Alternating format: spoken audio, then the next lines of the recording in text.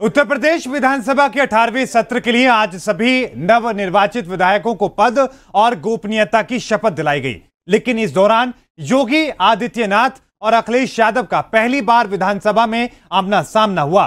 देखिए इस पहली मुलाकात की यह खास तस्वीर।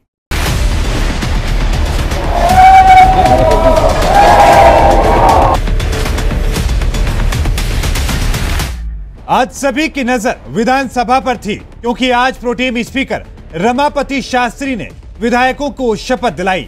विधायकों के रूप में खुद योगी आदित्यनाथ और अखिलेश यादव ने भी शपथ ली।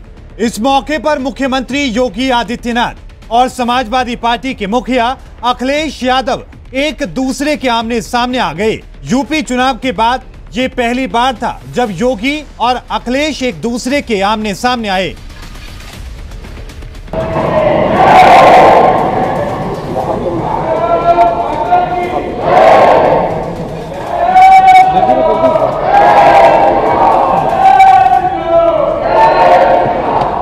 आया। चुनाव के बाद योगी आदित्यनाथ और अखिलेश यादव की पहली मुलाकात की वीडियो सोशल मीडिया पर जमकर वायरल हो रही है। इस वीडियो में योगी आदित्यनाथ विधानसभा में आगे की ओर बढ़ते दिखाई दे रही हैं। वहीं अखिलेश यादव भी खड़े हुए दिखाई देते हैं। तभी अखिलेश आगे बढ़कर योगी की ओर हाथ बढ़ाते हैं। योगी भी उनसे हाथ मिलाते हैं और दूसरे हाथ से उनके कंधे को थपथपाते हैं। इस दौरान दोनों के बीच कुछ बात भी होती है जिस पर योगी आदित्यनाथ मुस्कुराते हुए दिखते हैं और हँसते हुए हाथ जोड़कर आगे की ओर निकल जाते हैं।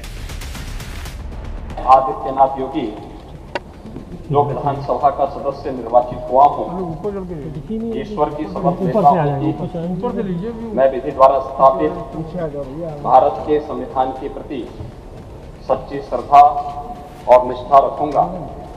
मैं भारत की प्रभुता और अखंडता सुने रखूँगा तथा जिस पद को मैं ग्रहण करने वाला हूँ। उसके कर्तव्यों का श्रद्धापूर्वक निर्वहन करूँगा। 25 मार्च को मुख्यमंत्री पद की शपथ लेने के बाद योगी आदित्यनाथ ने यूपी विधानसभा में विधायक पद की शपथ ली। इससे पहले योगी आदित्यनाथ ने मीडिया से भी बात की और सभी नव निर्वाचित विधायकों को बधाई दी।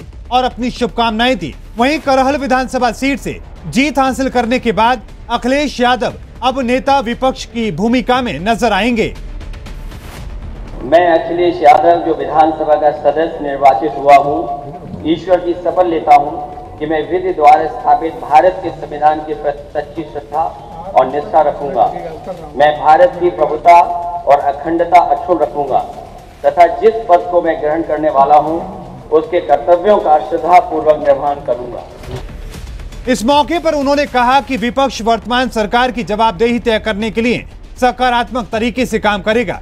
अखिलेश यादव ने आजमगढ़ लोकसभा सीट से इस्तीफा देकर प्रदेश की राजनीति में आगे बढ़ने की रणनीति बनाई है और इसके बाद पार्टी में एक अलग तरह का उत्साह भी दिखाई दे रहा है। Bureau report, R nine news.